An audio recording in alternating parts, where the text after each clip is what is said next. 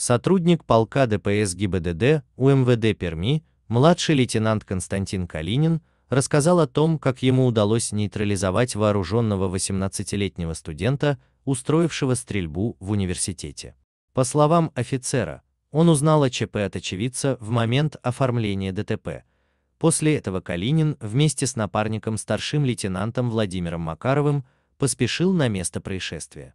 Макаров занялся эвакуацией граждан, а его коллега обнаружил преступника и применил табельное оружие на поражение после того, как молодой человек выстрелил в страже порядка.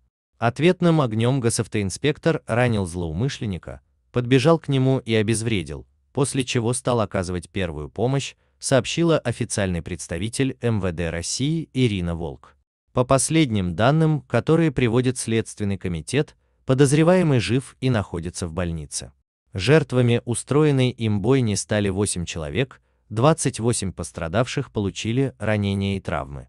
Установлено, что преступник стрелял из легально приобретенного охотничьего гладкоствольного ружья, которое он приобрел с соблюдением всех необходимых формальностей.